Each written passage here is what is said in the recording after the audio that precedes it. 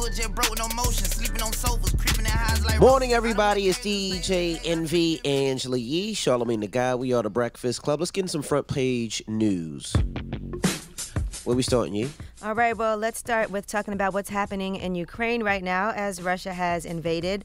Now, the Ukrainian presidency has said that more than 40 soldiers have been killed since the invasion began and a few dozen injured, and they said up to 10 civilians have been killed during this invasion so far.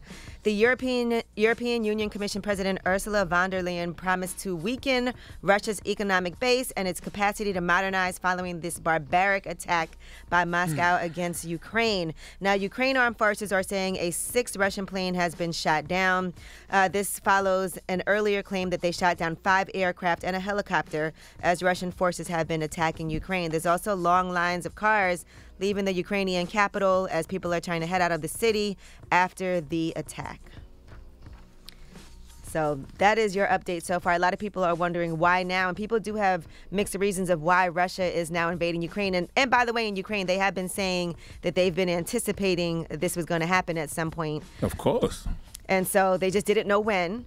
And so some of the theories are that Russia is threatened by NATO's expansion and wanted to draw a line in the sand. Some people feel like Russia is unsettled by Ukrainian independence and democracy. Russia does fear Ukraine's status as, as a democracy, and they have developed an increasingly anti Russian orientation in recent years. So they feel like that poses a threat. Uh, some people feel like Russia right now knows that they have an unusually strong hand at this moment because energy prices are rising around the world. The mm-hmm. surge is really uh, particularly big in Europe, where a lot of countries are dependent on Russian natural gas for things like heating their home. So they're saying that sanctions against Russia could cause an energy crisis in Europe on the scale of the 1970s oil crisis. So that's why there's been some hesitation from the Germans on joining threats to sanction Russia into oblivion if it entered Ukraine. And, and in the immediate future, it's going to hit it's to hit America too. Gas prices are to go up because the price of oil is to go up. Price of food probably to go up. Another hit to supply chains is definitely to happen. And since we already experiencing record high inflation, this is to add to it. All disruptions matter right now. So right now, the, uh, some people do feel like this is the perfect timing. Now, Australian Prime Minister Scott Morrison has said that Russia's invasion of Ukraine is brutal and unprovoked, and they have announced new sanctions on 25 more individuals and four financial institutions and denounced this. Um, European stocks fell sharply after Russia attacked Ukraine, and right now they're saying this is one of the darkest hours for Europe since World War II. Wow. So we will keep you updated. As I was watching the news this morning, things were changing minute by minute, like literally, if, if you're watching all the updates. Uh, now you can hear as they're reporting on what's happening from Ukraine. You can hear sirens in the background. Uh, hey Don, it's not explosions. There's been an air raid siren just suddenly. Oh, here it is.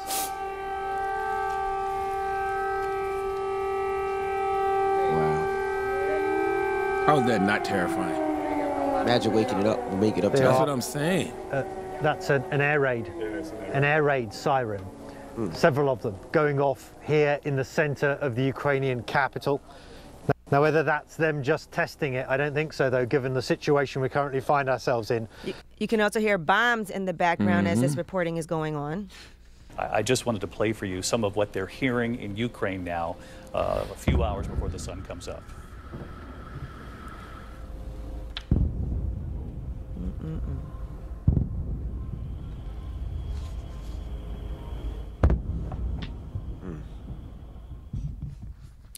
And you know, Putin warned that other countries who attempt to interfere with the Russian action uh, is going to lead to consequences they have never seen. That's that's that's nuke talk. You know, I don't know if it'll get to that point. I, I, yeah, I pray it doesn't, talk. but uh, it'll definitely be, I think, heavy cyber yeah. warfare. Like imagine, so, imagine they take out the electrical grids here, or take out the hospital computer systems, our flight aviation, our banking systems. Oh, if they knock out social media, Netflix, oh you know, people will riot in America. Yeah, I was just thinking, you know, you, you hear that in other countries. You know, are, are, are we prepared for that? Are we no. prepared for what no. could possibly happen? No, not even a little bit. You're too you know? worried about what's happening in pop culture. Yeah, right. no, not even a little bit. We're really, we're really in the movie Don't Look Up. Well, Donald Trump was speaking at a political fundraiser, and he did praise Vladimir Putin, the Russian president. He said, I mean, he's taking over a country for $2 worth of sanctions. I'd say that's pretty smart. He's taking over a country, literally a vast, vast location, a great piece of land with a lot of people, and just walking right in. Yeah, so they were saying uh, it's like it's like uh, they gave they gave Putin an inch, and he he decided to take a mile. Yeah, right now on CNN it says full-fledged war has begun. That's what the head. That's what the header says. Now, the Russian president Vladimir Putin ordered troops into Ukraine's uh, into Ukraine and has prompted the international community and Russia experts to speculate on what the next steps could be after this. And he did also give a speech that the United States was surprised when this happened because they didn't know that he was about to give a speech last night as well. And so, according to that speech, uh, people are very alarmed about things that Putin had to say. And they said Putin's vision of history is clear, if viciously wrong. A great Russia once existed, of which Ukraine was but a part. And then the bad communists and their successor divided up that great Russia in an artificial way, creating divisions where none existed before. Implicit in this is that Ukrainians who say differently are deluded or manipulated by others. Now that natural vision has to be restored by a strong leader. So that is what he's trying to say in his speech. And they're saying that's revisionist, and that is not what happened at all. So he's trying to convince people, and he has his own sense of what happened when Ukraine separated from Russia. And during his speech, he also said that modern day Ukraine was in full and in whole created by Russia, is what Hmm. his version of events is. Well, it's going down. And Putin already said any country who interferes will get smoked like they've never seen. And Biden's about to give a speech this morning saying that they're going to hold R- uh, Russia accountable, America and its allies. And so you know that they're absolutely going to do that. So prepare for smoke. Let me ask you a question. I never understood that. Why why do we make a press conference and say what we're gonna do and not just do it? I mean, That's like they me all do saying, that. Charlamagne, when I see you, I'm gonna punch you in the face. Why don't why don't I, just punch you in the face when I see you? I mean, they all I'm do gonna it. tell you. It's not like Putin didn't do it.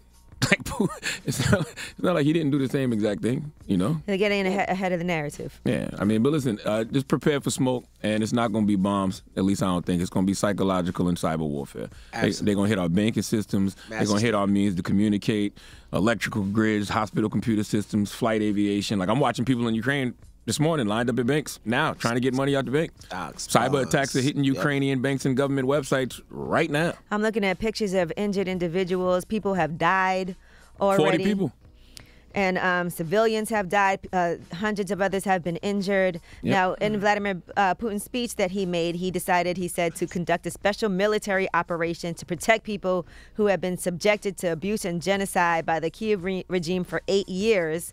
And he did deny that Russia was planning to occupy Ukrainian territories. He said, We are not going to impose anything on anyone by force. That's not what it looks like when you see those tanks uh, going in. And Ukrainian President Zelensky responded several hours later with a minute long speech saying that he had spoken to U.S. President Joe Biden and that the United States was rallying international support for Ukraine. And he said, The West is with us. All I know is America is absolutely in no position right now after COVID to deal with any of this. Okay, like, im- like imagine you know they take out our electrical grids. Imagine they, you know, uh, you go to your bank one, one morning and it, it denies you service. like it's gonna cause mass hysteria and panic all over the country. You think folks is running up and running up and stuff and stealing now? Man, listen. All right. Well, that is your front page news. And like I said, things are changing by the moment. So we will keep you updated on reports as we are uh, getting them.